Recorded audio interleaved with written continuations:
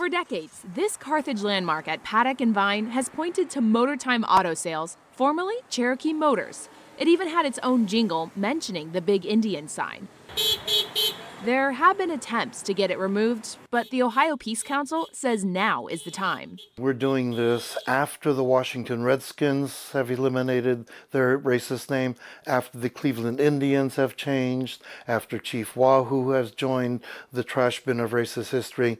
So the mood, I think, is correct now. Lang's petition has a little under a thousand signatures. He plans to present it to City Council, hoping it will back him and review the sign's height limitation. As long as this racist edifice exists, they will never be a model. We will never be a model for uh, cities nationwide. We must remove it if for no other reason than for that goal.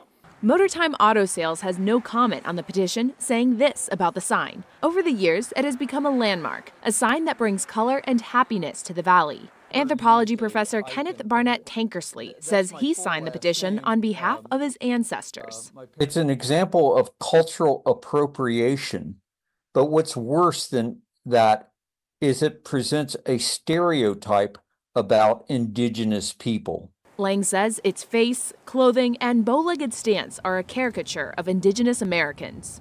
People have grown numb to the outrageous racism that it uh, represents they think that, well, it's just part of the community. In Carthage, Paige Barnes, Local 12 News.